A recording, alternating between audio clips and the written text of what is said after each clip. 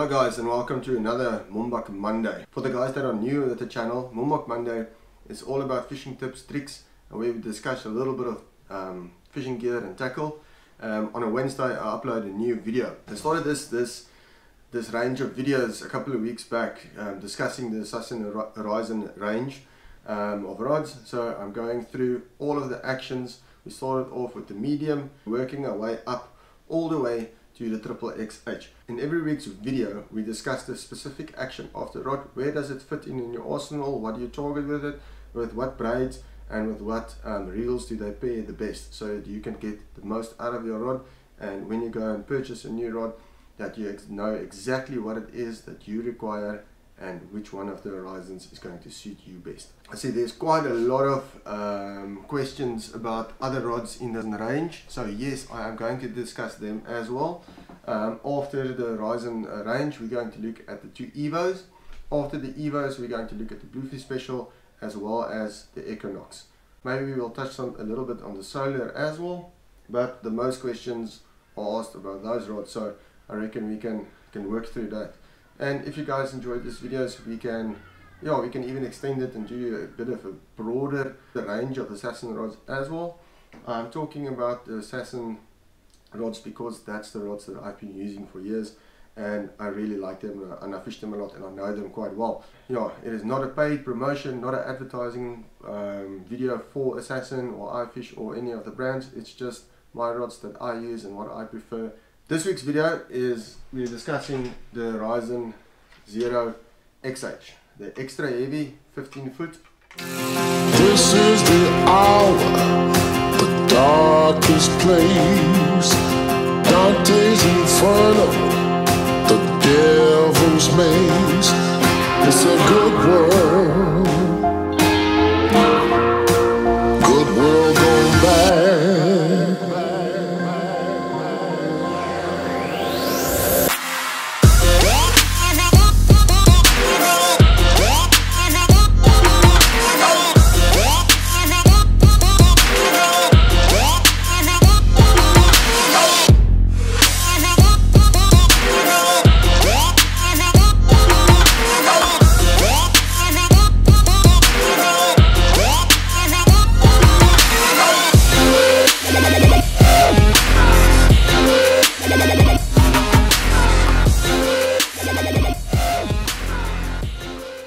Video we are discussing the Horizon XH, the extra heavy 15 foot. It is rated 6 to, out, 6 to 8 ounces and its recommended braid sizes is 40 to 50 pound. But like I've mentioned in all the previous videos, the ratings on the rod is just an indication for you um, to know what to throw it. What it's just an indication for you to know what to what sinker weight to use and what line claws to use. But you can go slightly lighter and slightly heavier as well. A little bit on the specs of the rod like I said not going into much details of the rod too much technical stuff. Um, once again comes fitted with the Fuji reel seat um, Assassin bionic finger EVA grip Fuji anti-tangle guides with the SIC inserts. SIC inserts less abrasive on your braid making your braid last quite longer. Essentially it is a much smoother insert, a guide insert. And just to clarify as well, the Horizon XH is made in two colors. It is available in the Protea green as well as the silver one that I have here. The two rods are identical. There's no change in the action, no change in the blank, no change on the guides, anything, nothing is different. The only, only difference between the two rods is the color. So if you prefer the green, buy the green. If you prefer the silver, buy the silver. To me, I don't mind the color, it just needs to work and catch fish.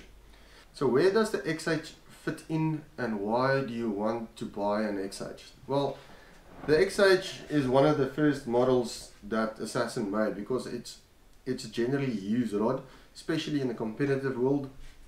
But the XH to me is basically your all-round non-edible rod. So now we go moving away from the edible fish over into non-edible fish the rods that you're going to buy if you want to target non-edible fish. So that's exactly where the XH fits in and that's what I said and like I said earlier on to me it is basically the all-round non-edible rod. It is really comfortable to fish with. It's physically a light rod but with the capabilities of throwing really big bites When I'm talking about non-edibles, I'm talking about all sharks and rays. And to me, it's a little bit of overkill for edible fish. Um, if you want to use it for edible fish, I would recommend using it for, for big cob, using big live bites to throw big live bites, or when you're using, or if you want to fish for mussel crackers in, in between foul reef and you really want to pull the fish quite hard, um, that you can use the XH4. But to me, it's more of a rod that I'm going to target my medium non-edibles to my really big edible, non-edibles.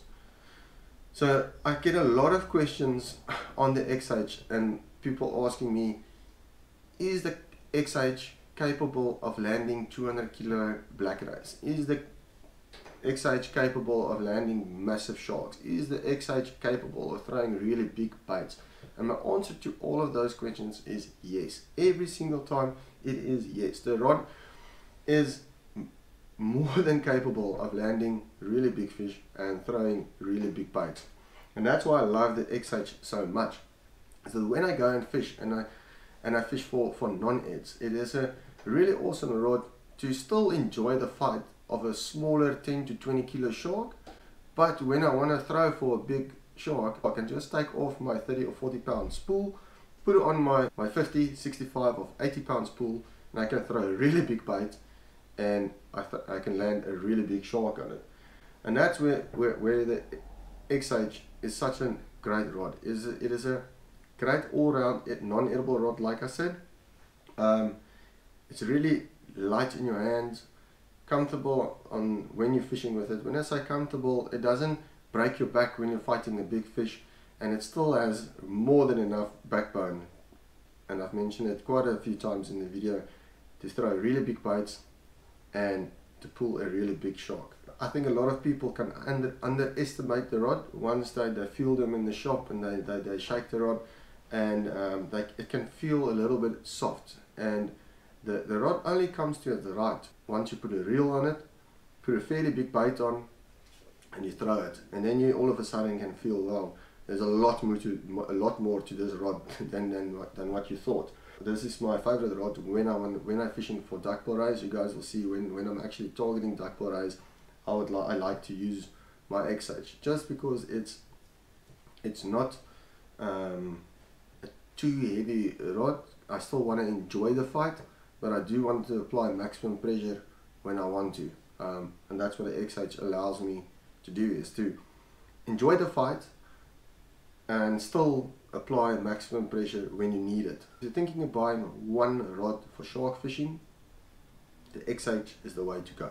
I mentioned that the rod is a 6 to 8 ounce or it's rated 6 to 8 ounce. 6 to 8 ounce doesn't mean it's 6 to 8 ounce including your bait. It is only your sinker weight and it excludes your bait. Um, I found that the sweet spot for the rod for me, for my casting action, remember every uh, every guy's casting action differs slightly, so you'd go maybe heavier on the sinker, maybe lighter on the sinker. The sweet spot that I found with the XH is a 7 ounce. 7 ounce with a medium sized bait, with like a tennis ball sized bait, or even your smaller bait when I'm targeting um, hammerhead sharks or blue rays on a far bank out or just a good sized duckbill bait, I prefer a 7 ounce. When I do a really big bite for, for ragged sharks and um, for big bronze whalers, something like a Sara Sara head or a big um, bull mullet head with fillets around or a yellowtail head, uh, I often throw a 6 ounce because the, my casting action is a little bit fast, it feels like I'm overloading the rod but I, I know a lot of the guys stick to a 7 ounce and even some guys fish a 8 ounce with um, a smallish chokka bait or a medium sized diamond sized type of bait with a mackerel head with two flaps on the side. They, they, they throw a 8 ounce and sometimes a 7 but to me I don't I don't like an 8 ounce on my XH my I use an 8 ounce when I'm fishing the double XH but yeah, that's where I think the sweet spot of the rod is definitely a 7 ounce for me. Yeah, and I mentioned the line rating 40 pound to 50 pound, that is a PE3 to a PE4. But I do often fish this the, the rod with um, something like a 10,000 twin power or a 14,000 spool with 30 pound braid on um, especially if I want to get a lot of distance doing a lot of wading keeping the rod as light as possible not putting a 20,000 on it because you're making a lot of cost for the day and um, you, know, you want something that's light and comfortable? But then it really fits well with the 20,000 um, something like a 20,000 Stella or a 20,000 Saragosa and on that you can put something like either a 50 pound JDB Ultra Tough or um, a 65 pound Drop Zone Ultra Tech or even an 80 pound braid on your 20,000 and fit that on your um, Horizon XH and you're not going it's not going to feel like it's too thick or uncomfortable. Um, and that's that's like I said earlier um, that's one of the big reasons why I love the XH is because I can easily take off either my 10,000 put on a 20,000 and fish it comfortably or take my 20,000 spool and take my spool with the 40 or 50 pound off 5 pound and slap the 65 pound or 80 pound on and I'm ready to go for a big shark um, for the guys that use not everyone prefers Shimano reels. I'm talking about Shimano reels because that's the reels that I fish and um, I've been using Shimano reels for over 20 years. But some of you guys are Daiwa fans and Penn fans. Like I said the beauty of the rod it allows you to fish a smaller size reel up to your really big reels on it. When you're fishing a Penn, um, you can go from anything like a 6 6500 a 7500 and an 8500 fishing either in the Penn, slam, Penn slammer torque or spin fisher will fit it really comfortable. For the guys that are throwing using the rod as the big rod just for um, big bronzies and you need a lot of line um, capacity and you're not worrying about or your combination not getting a little bit heavy you can fish the 9500 on the rod as well.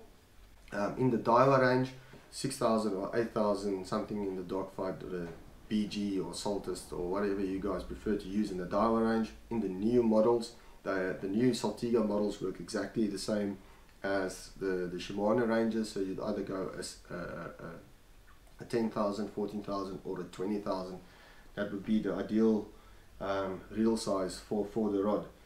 And yeah guys I don't know if I missed anything on the XH little recap. Like I said it is a, a great all-round non-edible rod if you want to use it for for if you want to use it for edible fish I'd recommend it using it for fish where you need to really bully the fish something like mussel crackers or yellowtail or um, throwing a big bite for a big cod um, something like a big live bullet or a whole octopus or whole for octopus a really really big and bulky bite. That's where this will fit in. But to me a little bit of overkill for for edibles. But when it comes to to edible to non-edible fishing I really love it. It's really enjoyable catching your smaller to medium sized fish on it while still having the, the confidence in the rod that when you hook a really big shark that you can land it with ease. And if it's if you want to buy one rod for non-edible fishing and you don't want to spend and you don't want to spend the money on two two setups for sharks the XH is definitely the rod to go so yeah that basically covers it for this week's Mombak Monday I hope you guys enjoyed it please like the video please share it and um, please subscribe to the channel um, new video on Wednesday. I finally got an idea how I'm going to give the Horizon HXL away, the 15 foot. So stay tuned and watch Wednesday's video to see how you can win or how you can stand the chance to win the Horizon HXL 15 foot heavy.